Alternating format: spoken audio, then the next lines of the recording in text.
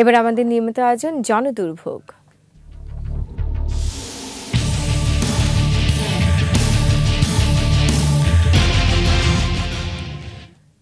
কূটনৈতিক এলাকা থেকে শুরু করে রাজধানী পাড়া মহল্লায় বেড়েছে মৌসুমি ভিক্ষুক। তাদের যন্ত্রণায় অতিষ্ঠ পথ চলতি মানুষ আর ছোট বড় ব্যবসায়ী।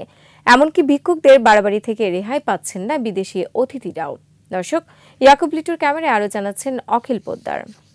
Walton air conditioner exchange অফারে স্প্লিট এসিতে তেইশ হাজার টাকা পর্যন্ত নিশ্চিত ছাড়।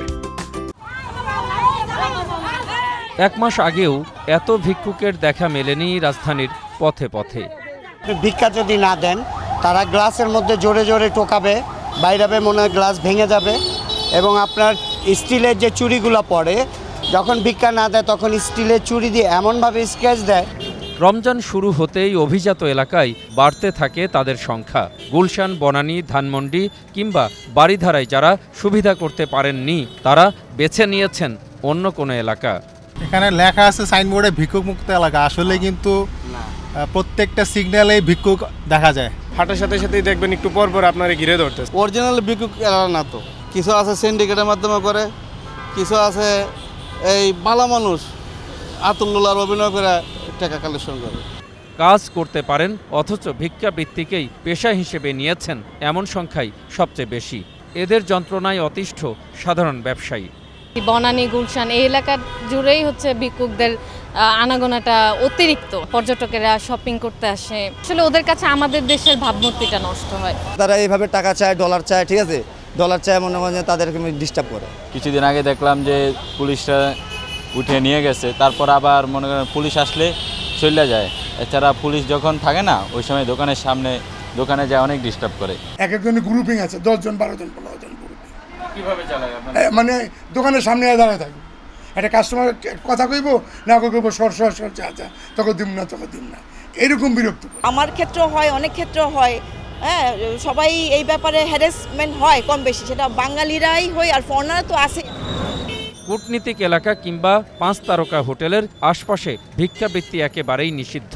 তারপরও থেমে নেই ছদ্মবেশী ভিক্ষুকের দৌরাত্ম্য।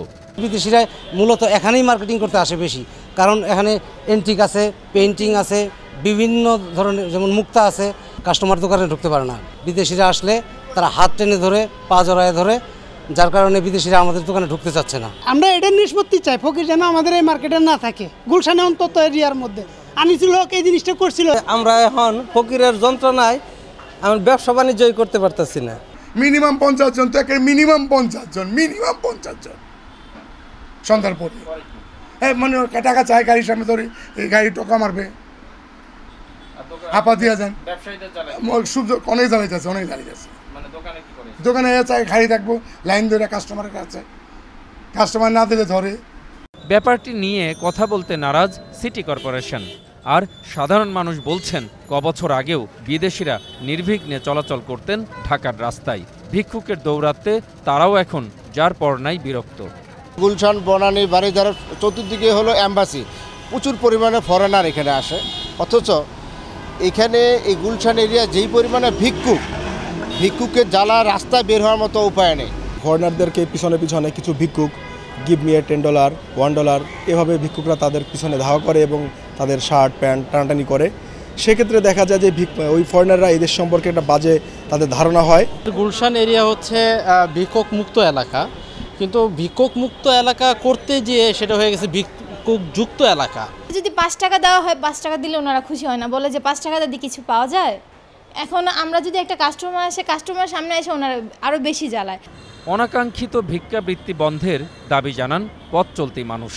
প্রচুর মানুষ ফকিরের ছদ্মবেশ ধরে এই রাজধানী শহরে আসলে একটা ব্যবসার মতো অবস্থা হয়েছে যার কারণে সত্যিকারের ফকির যারা যারা সত্যিকারের দুস্থ অসহায় যাদের সাহায্য পাওয়া দরকার তারা আসলে সেটা থেকে বঞ্চিত হচ্ছে। আমার মনে হয় যে যথাযথ কর্তৃপক্ষ সমাজ কল্যাণ মন্ত্রণালয় সহ যারা আছে তাদেরকে এই বিষয়ে আরও বেশি মনোযোগী হওয়া উচিত।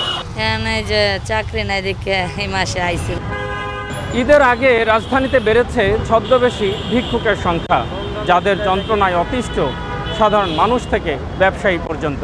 প্রিয় দর্শক, আপনার চারপাশের নানা সমস্যা আর ভোগান্তির চিত্র তুলে ধরবে একুশে টেলিভিশন। এসব তথ্য জানাতে ফোন করুন, এই নম্বরে পৌঁছে যাব আমি অখিল পোদ্দার আর একুশে টেলিভিশনের ক্যামেরা। আপনাদের দুর্ভোগ দুর্দশায় সবসময় পাশে আছে একুশে টেলিভিশন।